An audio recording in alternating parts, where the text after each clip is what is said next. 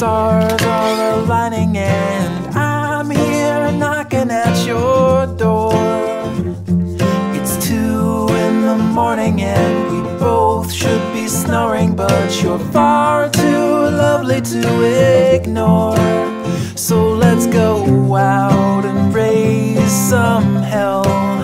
Do what you want, I'll never tell.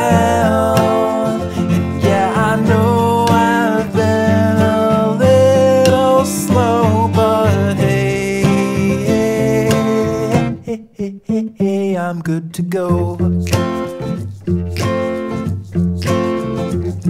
I'm snared and I'm smitten like a scared little kitten, but I'm not afraid to tell you anymore.